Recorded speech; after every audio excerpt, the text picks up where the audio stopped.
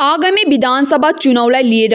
चौतिस नम्बर समष्टि अन्तर्गत अप्पर इच्छेको रामलाल दाहाल उच्चतर विद्यालय परिसरमा गोर्खा जनमुक्ति मोर्चा विनय समूहको बुथ स्तरीय सभा सम्पन्न भएको छ।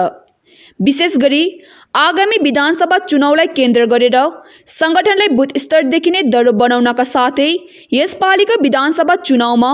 गोर्खा जनमुक्ति मोर्चा विनय समूहको पक्षमा खडा हुने उम्मेद्वारलाई जिताउने बारे मानिसहरूलाई आह्वानको निम्ति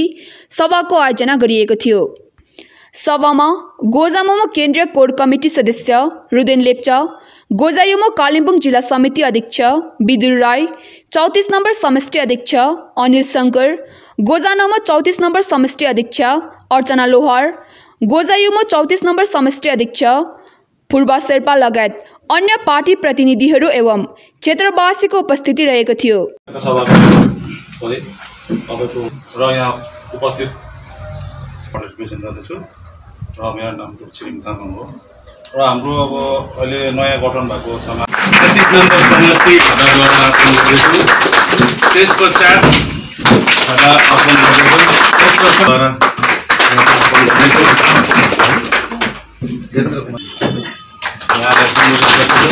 त्यस पश्चात हाम्रा कति पानी पर्दाखेरि चाहिँ त्यो तपाईँले त्यो तपाईँले क्लस्टरिङहरू पनि गर्नु भएको छैन होला त्यो पनि म मेरोपट्टिबाट गरिदिन्छु भनेर भन्नुभएको सरले भन्नुभयो पानीको खाँचोको कुराहरू त्यस्तो प्रकारको थुप्रै खाँचोहरू छ अनि तेत्तिस नम्बर समष्टि तिन मेल अनि चार मेलको जुन चाहिँ आज यो एउटा बुथ कमिटी मिटिङ हो र यो चाहिँ एक सौ एकतिस र एक सौ बत्तिस बुथ हो है त्यसले गर्दाखेरि आज यहाँ जुन प्रकारले उहाँ अब आज देख्नुहुन्छ तपाईँहरूले नारी मोर्चाहरू छन् प्रायः यहाँ प्रायः नारी मोर्चाको नै गठन हुन्छ किनभने यहाँ नारी मोर्चै प्रायः जस्तो छ र आज हामीले घुम्दै जति पनि काम गरिरहेका छौँ त्यही गरेर उहाँहरूको जस्तो आज बुझ्नु लाइन पनि आज बुथ कमिटी प्रेसि बुथ कमिटी अनि यो शाखा कमिटी भन्दा पनि मिल्छ यसलाई र बुथ कमिटीको हाम्रो प्रायः मिटिङ हो यो। र यो यहाँदेखिको तल चित्रे चित्रेदेखि माथि आउँदै यो तपाईँको मन्दिरसम्मको यो एउटा बुथ कमिटी हो र यसमा एक सौ एकतिस र एक सौ बत्तिस जुन प्रकारले आज यहाँनिर डेभलपहरू पनि